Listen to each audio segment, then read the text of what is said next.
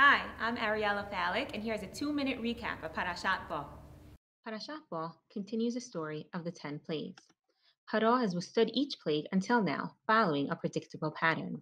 At times, seeming to weaken in his resolve to desperately call for Moshe and Haron and plead with them to put an end to the plague, only to go back to his old ways and refuse to free the slaves. But now, by Parashat Bo, we start to see evidence in the text that Paro's servants are seeing things differently. Paro's servants say to him, How much longer are you going to let this go on? And in the wake of the plague of the firstborn, with Egypt consumed by mourning, Paro's resolve finally breaks. He calls Moshe and Haron before him and urges the people to leave and to leave fast. Bnei Israel are safe and secure within, while chaos and confusion reign around them.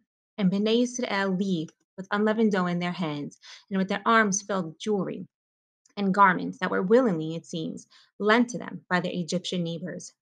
Bnei Israel are commanded to make the anniversary of their leaving Egypt the first month of their year.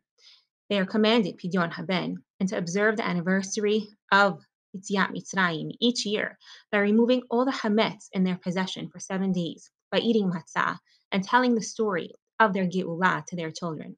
They are also commanded to wear tefillin on their arms and their heads as a reminder of the Exodus and their commitment to God. The idea of remembering is to remember, to attach ourselves to that memory. If we are remembering the Exodus of Yitziat Mitzrayim, we are meant to be part of that story and find meaning in it to create personal and national identity. So, what does the Exodus mean to you?